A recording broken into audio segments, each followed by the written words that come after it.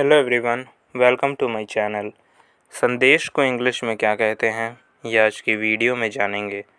तो शुरू करते हैं। संदेश को इंग्लिश में message report news tidings intimation errand या कम्युनिकेशन कहते हैं।